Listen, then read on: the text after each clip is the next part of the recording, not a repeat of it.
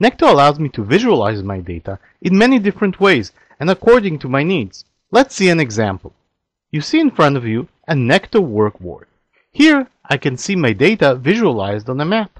And here we have data in an analytical grid.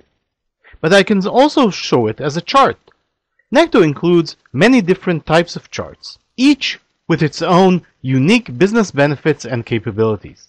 In this case, we have chosen a bar chart but here you can also see an example of a pie chart.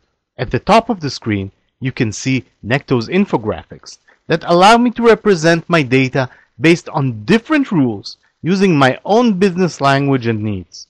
The Necto infographics comes with its own comprehensive designer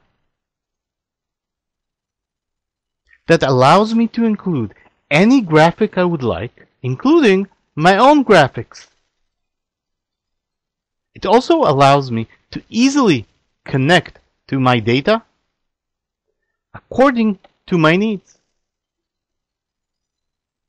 Necto also includes in-cell infographics that allows utilizing the infographic technology in a specific context.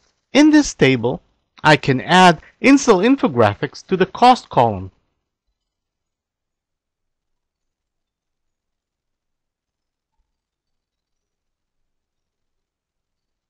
and I can easily customize it according to my needs.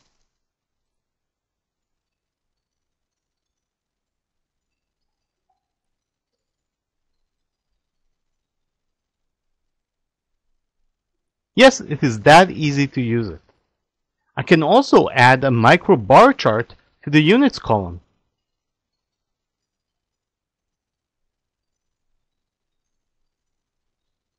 This allows me to visualize the progress of my business. And if I hover over it, I can see the exact information. The Necto visualization tools and infographics gives amazing results and it is really easy to use.